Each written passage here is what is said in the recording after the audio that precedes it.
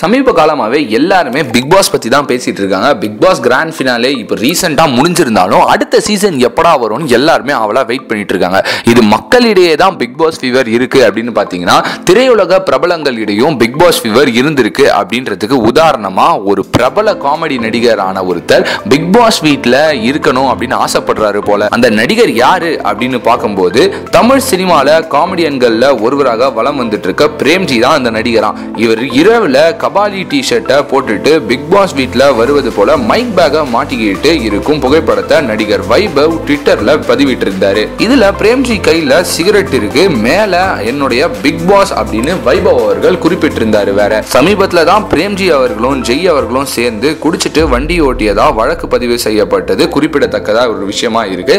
இந்த நிலைமையில நைட் டைம்ல பிரேம்ஜி அவர்கள் கையில சிகரெட்டோட மைக் பேக்லாம் போட்டுட்டு கபாலி டி ஷர்ட் போட்டுட்டு என்ன பண்ணிட்டு இருக்காரு அப்படின்னு எல்லாருமே யோசிச்சுட்டு இருக்காங்க.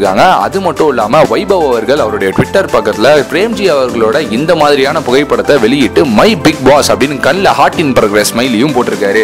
ஸோ இதனால பிரேம்ஜி அவர்களுக்கு பிக் பாஸ் சீசன் டூவில் கலந்து கொள்ள ஆசை இருக்கோ என்னவோ அப்படின்னு நிறைய பேர் பேசிட்டு இருக்காங்க.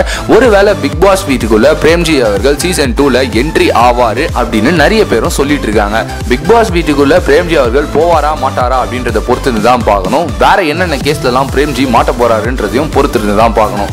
இந்த நியூஸ் உங்களுக்கு பிடிச்சிருந்தா லைக் பண்ணுங்க ஷேர் பண்ணுங்க. மறக்காம டிவி ஃபைவ் சேனலுக்கு சப்ஸ்கிரைப் பண்ணுங்க.